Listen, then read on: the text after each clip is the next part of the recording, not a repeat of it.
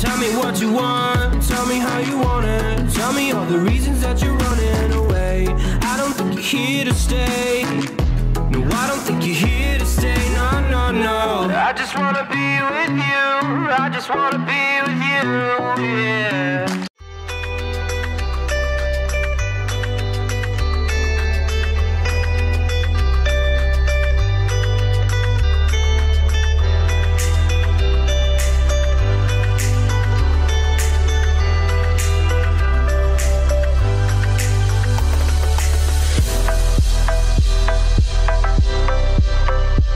Hi, I'm Tais. I've decided to take you with me on this eye opening journey.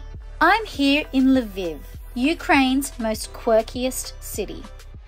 Hey there, just spent the night on the train all the way from Kiev to Lviv. So just coming in in another half hour. And uh, surprisingly, the train was quite comfortable and I managed to get some sleep.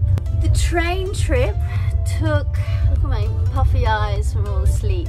Uh, a train trip took, took between almost almost seven hours, um, and that was only from Kiev to Lviv.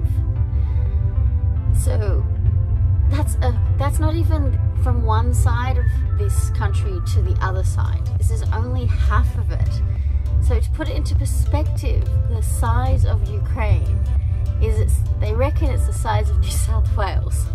And I spent the first night ever on an overnight train. But it, really just puts it into perspective of how large this country is. And if you think about where it is geographically located, um, it's a very big country.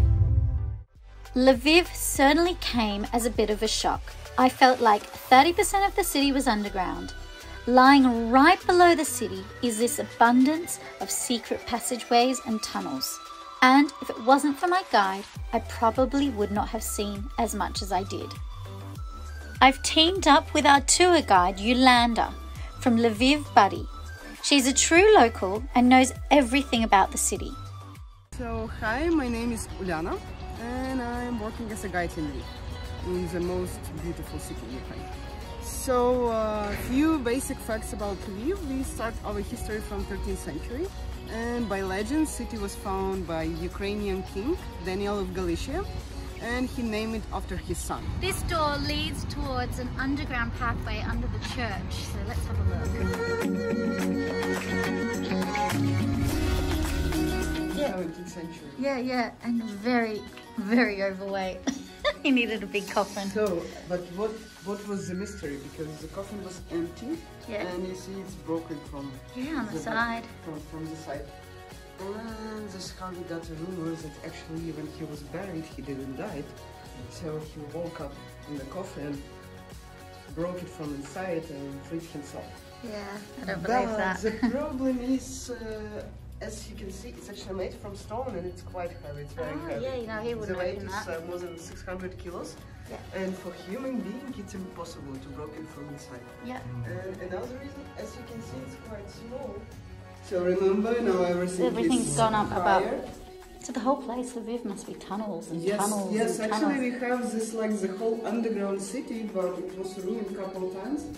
Uh, first by Austrians, then by Soviets and both actually were afraid that political uh, opposition gonna use it for rebellion.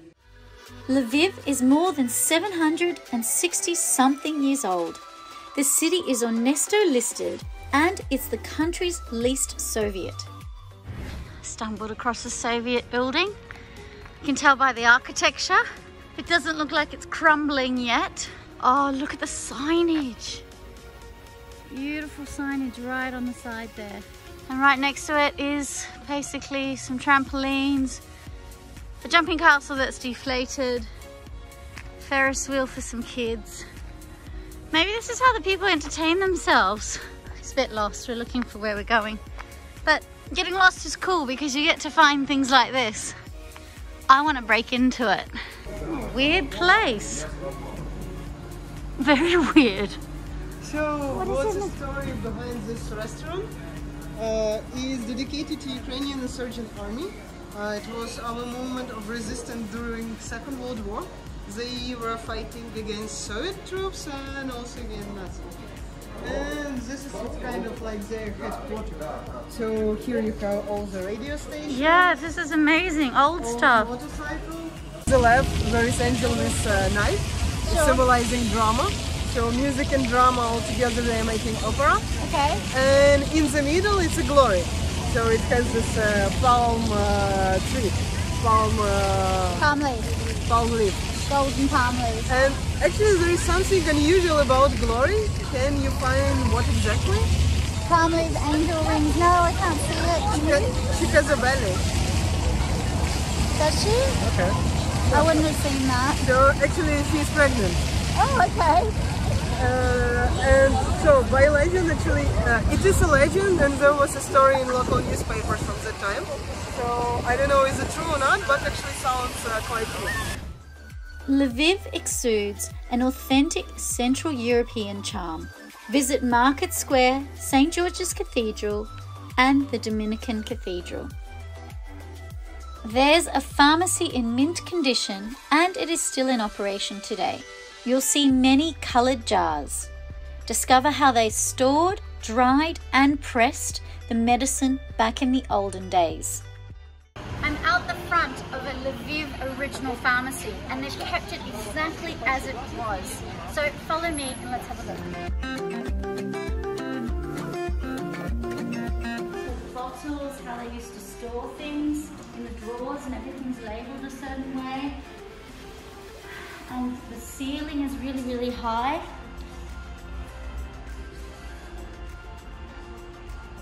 And underneath us is some uh, pathways and caves from the original house.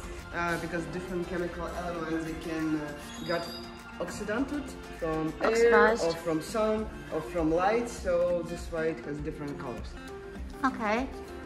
and some of them are quite nice like here it's pink for longa vita Oh, so yeah. it's a mixture for long life Mixture for long life. But you know, in 19th century 45 it was a long life already. For example, you can try to Lift a it up. pot. Wow, no, no, I see how heavy that Ken? is. Ken. Like mm-hmm. this one.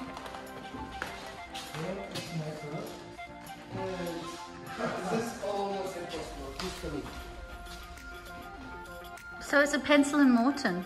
Where, where is it? And there should be cocaine as well. Yeah, it's right behind the door. And there is uh, Oh, cannabis cocaine. start. And heroin. Because actually drugs were made from drugs. Yes, that's right. Oh, that's beautiful. Oh, and In English, it's actually one word.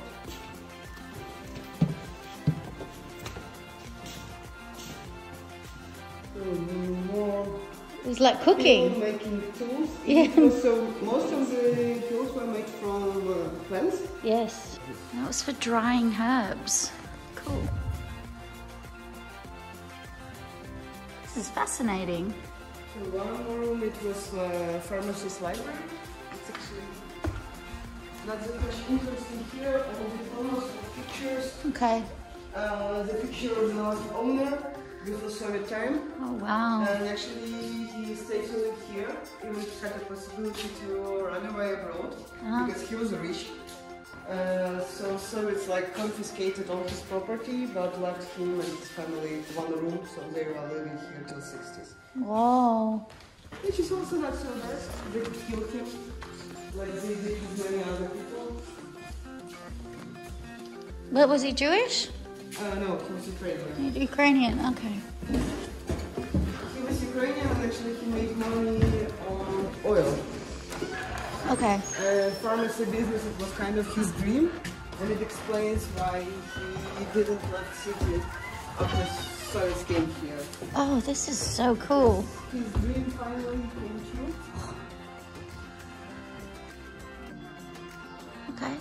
And here's a paint pictures of old pharmacies in Lviv. Actually, we used to have dozens of them, and now almost all of them are closed or sold or whatever.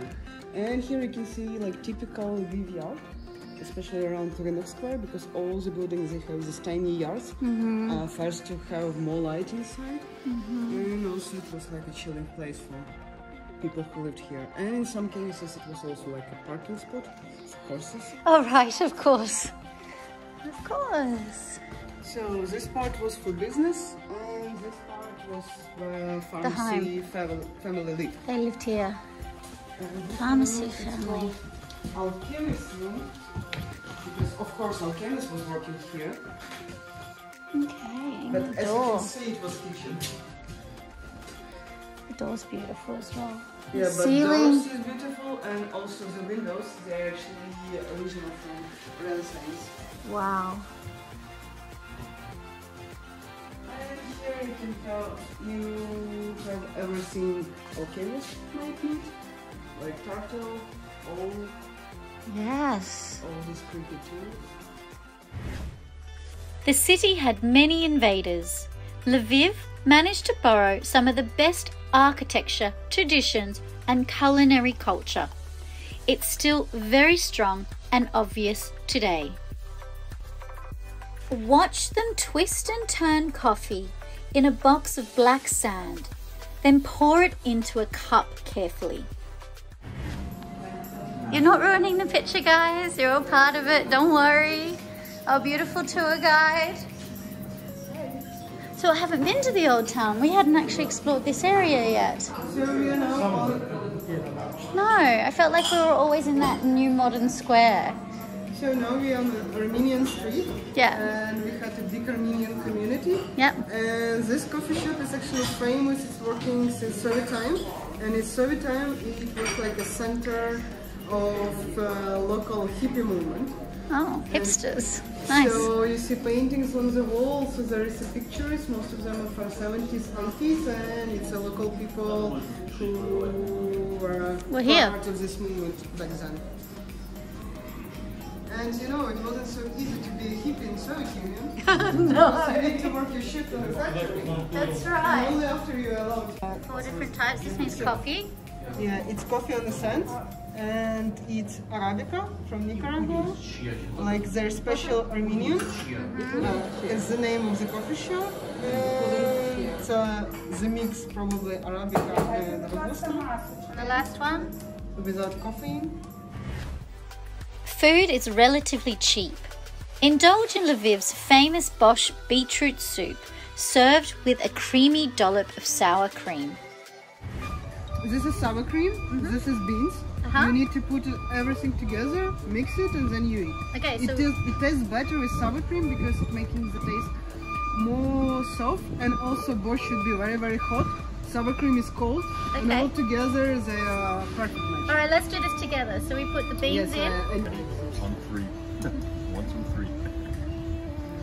the beans, then sour cream. then our sour cream.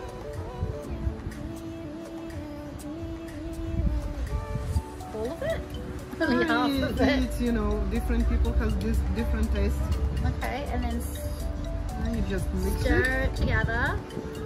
You see it's very very red. Yes. No orange motifs. It's the borscht is good.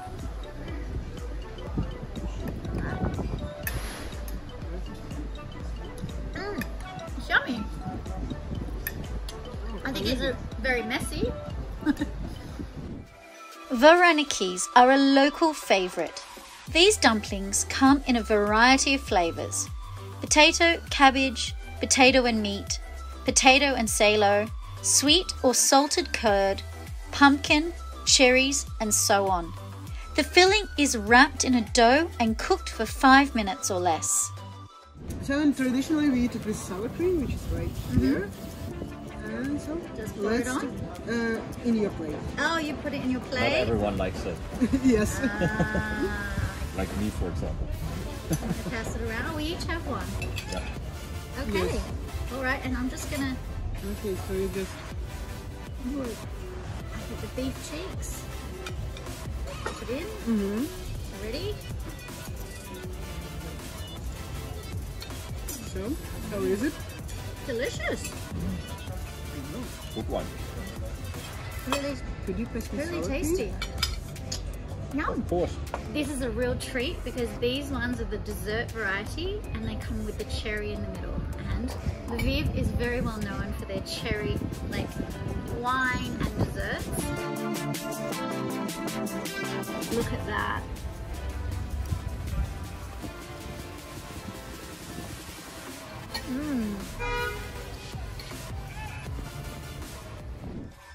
Climb into a mine and don't forget your miner's hat. Enjoy the novelty. Order the coffee like creme brulee. It's very entertaining. A weekend in Lviv just simply isn't enough.